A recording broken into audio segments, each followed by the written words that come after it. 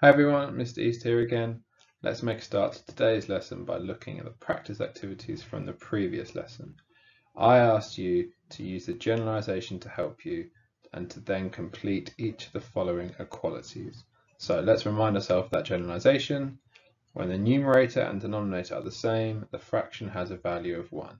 So the first question, is the numerator and, and the denominator the same value? Yep, they're both 4s, so that must have be equal to a value of 1. What about the second one? Okay, we're told the denominator and we're told the fraction is equal to 1. So that must mean the numerator has the same value as the denominators, which must be an 8. And then the final one, this time we know the numerator. We don't know the denominator, but we do know that it's equal to 1, which means the denominator must be the same value as the numerator, which is 7. In the second question, you were also asked to use that generalization to help you, and we need to try and work out the unknown values on the number line. So let's think about what we know and what we don't know. 0, 1 third, 1. So let's look at the number line. So it goes from 0 to 1. It's been split into three equal parts, which is why the first one is 1 1 third, then another 1 third, so that'll be 2 1 thirds. So we need to put in 2 thirds. The next number line, okay, let's think again. How many parts has it been split into? It's split into four equal parts. Some of you might have used the fraction that we are told, 3 quarters, to know the denominator of all of the fractions must be 4 for quarters. So let's count up in quarters. zero, one quarter, 2 quarters, 3 quarters, 4 quarters, not 4 quarters, it's just one box what can we write at the end of our number line? We can write 1 because 4 quarters, the numerator would be 4, the denominator would be 4, they're the same value, which is why we can also say the fraction has a value of 1. Okay, final number line. Okay, we're not told much information here. Let's think about what our number line has been split into. How many equal parts? So I can count, let's count together. I can count one equal part, two equal parts, three equal parts, four equal parts, five equal parts up until that line. We'll ignore the fact that it carries on. That's because we could continue to count past that final number. So if it's been split into five equal parts, there must be fifths. Each time we're adding on another fifth. So let's count in fifths together. Zero, one fifth, two fifths, three fifths, four fifths. Could write five fifths, but from our generalization, we know we can also write 1. You would then ask to look at the three number lines and think what's the same and what's different. That should have been done after you'd completed them. Something I can see, same as the previous lesson, all of the lines are the same length, which is why 0 and 1 are found on the same point on each number line. And then the location of each fraction is slightly different based on its value, and that's based on the size of each part. Other things you might have spotted, the denominator for the fractions on each line are the same. That's because each line has been split into a certain number of equal parts. Some of you might have noticed the numerator 1 appears on each number line, the numerator 2 appears on each number line, but then the other number lines, sometimes they have a numerator of 3 in one of the fractions, sometimes they have a numerator of 4. But the key things to focus on is we now know that we can put 1 at the end of those number lines to show that that is the place where the fraction could have been written where the numerator and denominator are the same, but instead we now know we can say it has a value of 1.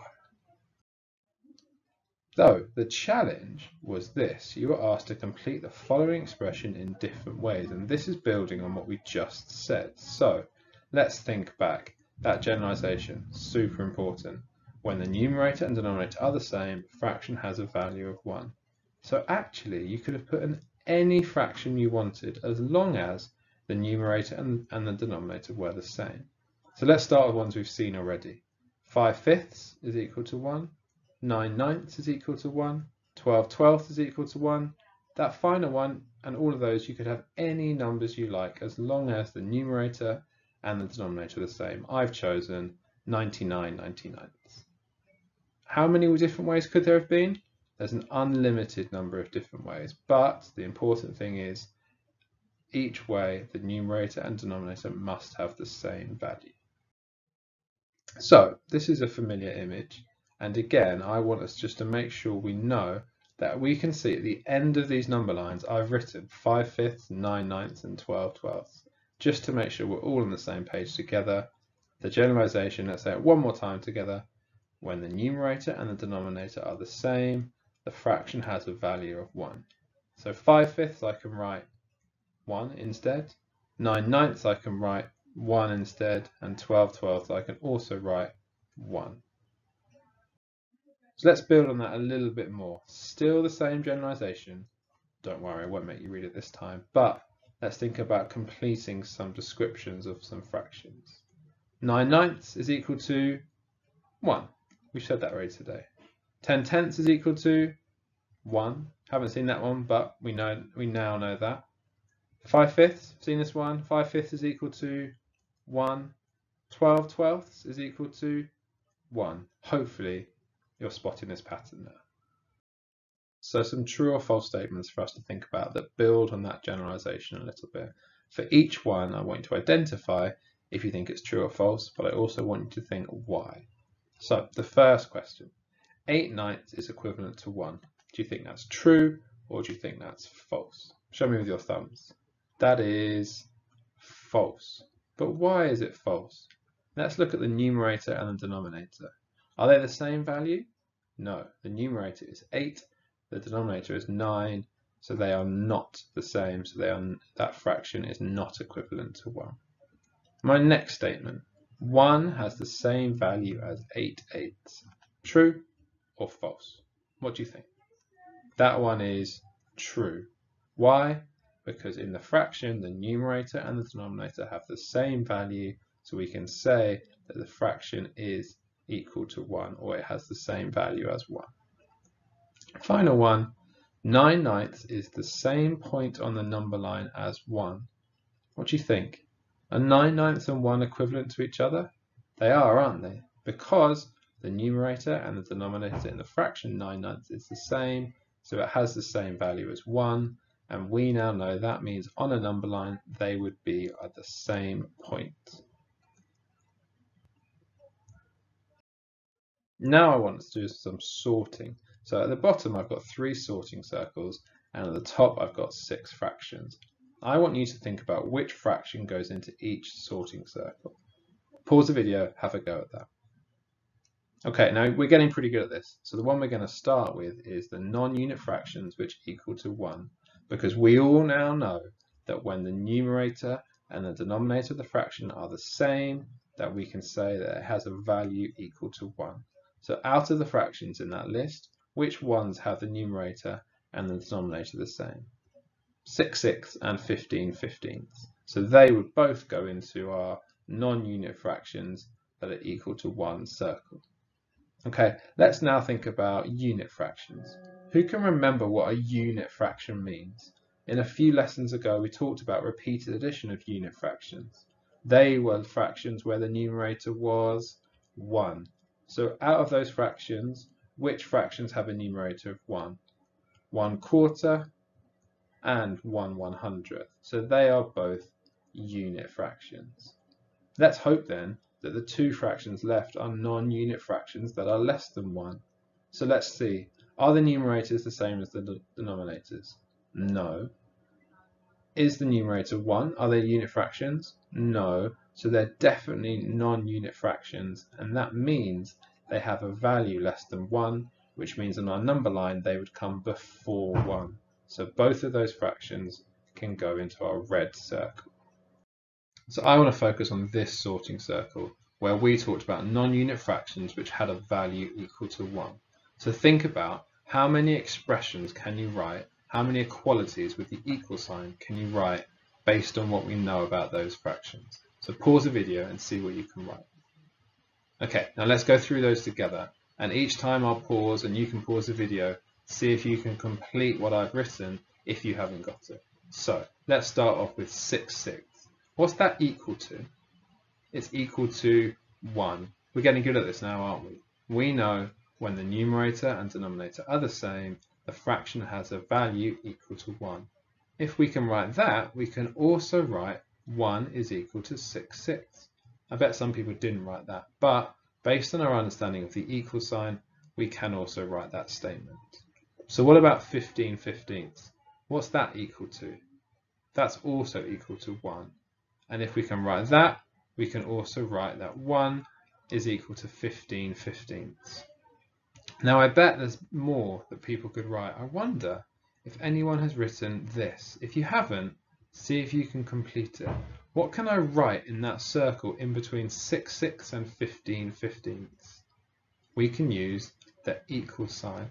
We know that those two fractions are equal to each other because we've just written that both of them individually are equal to 1, because they have the same value, we can say that they are equal to each other. So let's read that.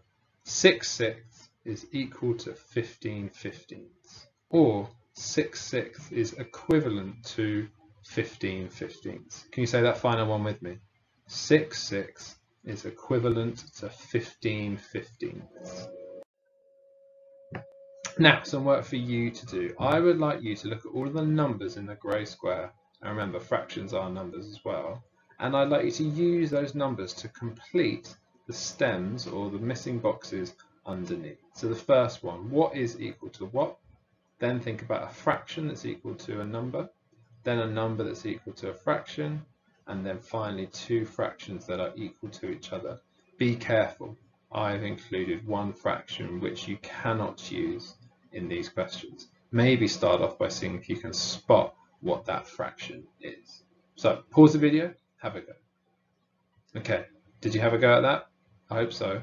Which fraction did you realise you couldn't use in these equations? We couldn't use 4 fifths, could we? Why couldn't we use that? Because that's the only fraction where the numerator and the denominator don't have the same value. You then could have actually used any of these numbers to complete them. So I'm going to choose some. Maybe you did them. Let's see if I can guess. Uh, 7 sevenths is equal to 20 twentieths. You could have also said 3 thirds is equal to 9 ninths. There's lots and lots of things you could have said. Maybe some of you used the number 1 for that. Maybe you said 12 twelfths is equal to 1. 200 two hundredths is equal to 1. There's loads you can have. So then let's think about a fraction is equal to, then there's only one box. Where are we going to start with this? There's one that we have to use. It's the number 1 the number one is going to have to go into that final box because we want that to be a single digit. And then again, we can choose any of those fractions where the numerator and the denominator are the same value. Let's see if I can guess what you've written. Uh, 20 twentieths is equal to 1. Did I guess right? Possibly not. Let's think about the next one. This time, our single digit with the one box is before the equal sign. Let's see if I can guess what you've written this time. 1 is equal to 200 two hundredths. And then we have another occasion where we've written two fractions and we've got our circle in the middle. So if we're thinking about is equal to, that's the operation we're going to put in our circle. And then again, you could choose any of the fractions where the numerators and denominators are the same. Let me guess one. Uh, maybe I can see if I can say one you haven't written. Uh, 9 ninths is equal to 20 twentieths. I wonder if anyone wrote that. All of these are based on that generalization that we're really good at now. When the numerator and the denominator are the same, the fraction has a value of 1. So, some practice activities for you to do. Again, first questions, I want you to see if you can find the value that can go in our missing box. And for your challenge, this is very similar to the challenge question I asked in the previous lesson. Can you try and complete the following expression in different ways? You'll notice that each of those have the number 4 fourths, and then you've got our missing boxes. So think about the different ways you can complete those expressions. And then again, can you think, how many different ways do you think there are to complete the expression, and why do you think that? So have a go at those questions and someone will go through them at the beginning of the next lesson. Bye!